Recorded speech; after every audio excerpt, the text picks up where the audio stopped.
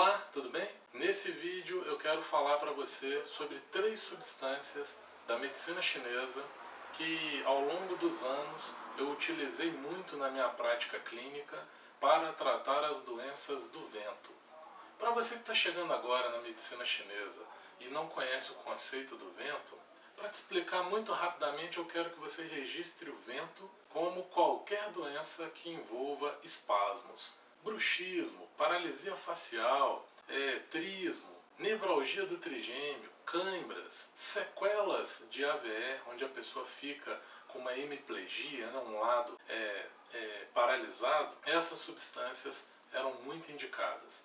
Nós utilizamos muito e o Luiz Fernando, meu amigo farmacêutico, vai falar um pouquinho dela para vocês e vai explicar o porquê que nós precisamos parar de utilizar a substância. Como o professor Fernando Braga comentou, essas substâncias são bastante utilizadas na medicina chinesa para tratar vento, principalmente espasmos, né, paralisia facial, e com resultado terapêutico muito eficaz e rápido. Isso a gente pôde comprovar com as prescrições do professor Fernando Braga e de outros vários profissionais que relataram melhora do quadro clínico do paciente. Embora essa substância tenha sido proibido pela Anvisa em 2014, pela resolução 21, essas substâncias né, e, ou a combinação dessas fórmulas nos deixam um aprendizado muito grande.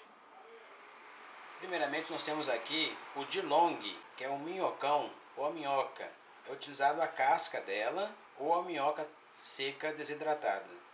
Temos também a centopeia, que é o ugum ou lacraia, também muito utilizado, e o escorpião, que é o quan xie.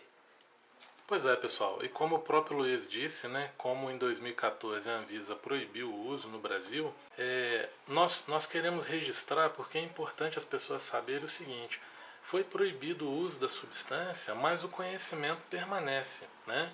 E nós não sabemos se será proibido eternamente. Então é importante você conhecer e saber que existe valor medicinal até nessas substâncias que normalmente nós repugnamos. E é um conhecimento que vale a pena nós difundirmos porque é, nós olhamos para essas substâncias e geralmente temos uma resistência a elas e muitas vezes por não sabermos que é uma substância medicinal e que pode ter o poder de tratar uma doença que aflige uma pessoa muitas vezes há vários anos. Então deixamos registrados aqui, eu quero agradecer ao meu amigo Luiz pela contribuição.